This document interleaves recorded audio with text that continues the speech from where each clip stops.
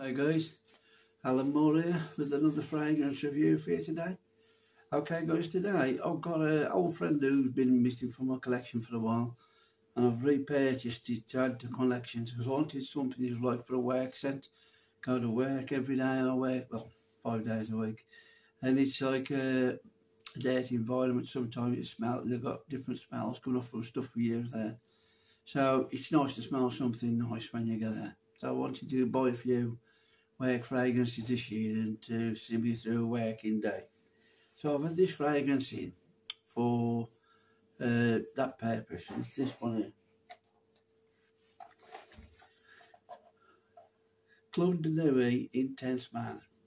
The non-alcoholic version is oil concentrated. Right, this is the third instalment of this particular fragrance of different variations that I've had in my collection since I started collecting. So, because it's the non-alcoholic one, I was going to do a review to let you guys know what I get from this fragrance. Okay, this is going to be a fantastic work, so stay tuned if you want something for work. Okay, guys, see you after the break.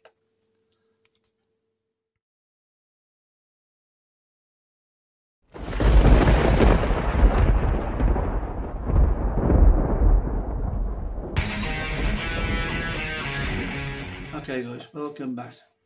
Now this one came again just Christmas. I had this off my daughter for Christmas, and I wanted it for a while now. I did have the original, the old, the old EDT version years ago.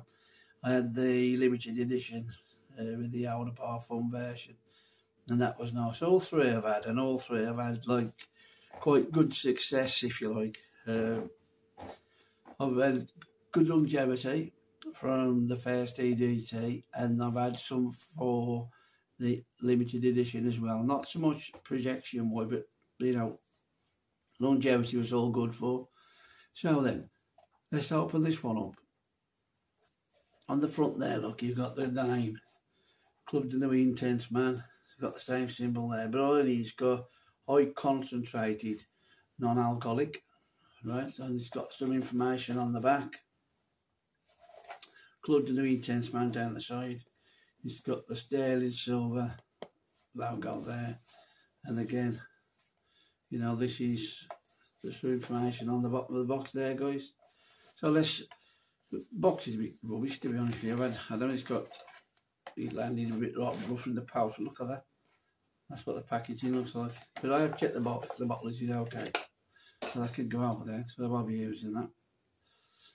So then that's what the bottle looks like guys. If you notice the little motif in the corner, that's where it says non-alcoholic and it's got oil concentrated on it. It's got the same medallion thing there, look, and it's got the name of the fragrance there.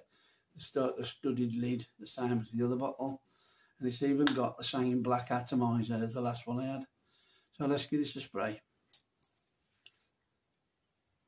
Yeah, and straight away, you're going to get that lemon opening again, guys, that a lot of people have put off with. But I made a mistake with this, and I think a lot of people are doing it with this this one, or the normal EDT anyway. A lot of people find that lemon note abrasive and, you know, like a lemon plate cleaner. I don't get that. But what I did do wrong the other day, when I first sprayed I went straight in for a smell. My nose got too close to the actual fragrance, and it like we come across as very abrasive then. So I can understand when people saying it's abrasive, but what I would advise you to do, spray it on and just keep a few, a few minutes before you go in for a smell. Let it calm down a little bit before you go in. And then you'll get the magic of this fragrance. Now, I'm not going to pay £300 for a bottle of Creed Aventus when it only lasts sometimes six, seven hours.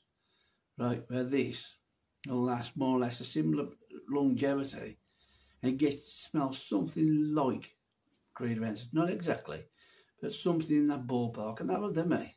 You know, it smells nice.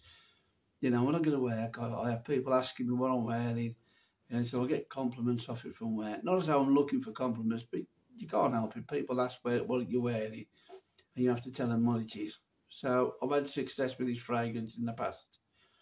Now, because it's non-alcoholic, I wasn't sure about the longevity. And as I say, I've been wearing this over the Christmas period as well. And if you're familiar with the first EDT, it's more or less spot on there, minus the alcoholic note in there.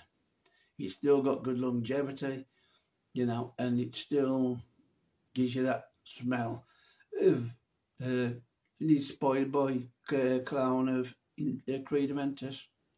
It's not going to be an exact copy, guys. Just like I said on a few videos before, just remember when they come from the Middle East, this is this or another Middle Eastern clown of a famous fragrance. I've had a few, and if you compare the notes between the two fragrance on Fragrantica, you will see slight differences.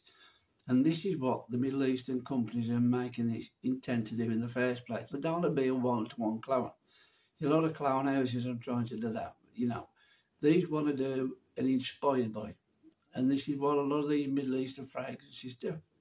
They're the inspired by smell something like Creed Aventus, but it's not going to be exactly the same. And if people accept that for what it is, they'll know that it's not going to be an exact copy of Creed, it just smells like it. And that's good enough for me. I love the smell of this fragrance. My wife likes it, you know. I've got lots of fragrance I spent a lot of money on, and she prefers something this way cost £30. Not because the price, but because the smell. Okay? So, when you got people telling you like that, sometimes you have to listen to the people you you know you close circle with, and to pay attention sometimes because some fragrance you might pay a lot of. I bought uh, Mancera, um, Instant Crush. Now I like that fragrance, but boy, I like it. See, it's too strong. Hello, all right, babe. So this is the uh, the fragrance. You know, I, I got bought by my daughter, and this is what I've been wearing over the Christmas period. Let me give you some of the notes on this, guys. Uh, 2020 came out, and the top you got bergamot, lemon, pineapple, and blackcurrant, which is most familiar by now. In the mid, you got birch, jasmine, and rose. In the base, you got vanilla, ambergris, and patchouli. So if you're asking from me, guys, give it a thumbs up for this. Do a thumbs up, right?